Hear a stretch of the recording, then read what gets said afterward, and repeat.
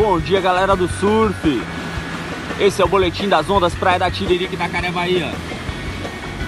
Mar lisíssimo agora cedo, já rolando um traude aí de quase 20 cabeças na água.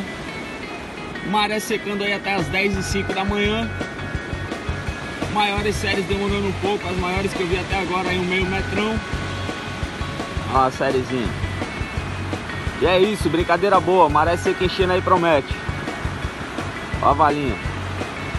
Uh, tá quase tubular já, secar mais um pouquinho aí melhora.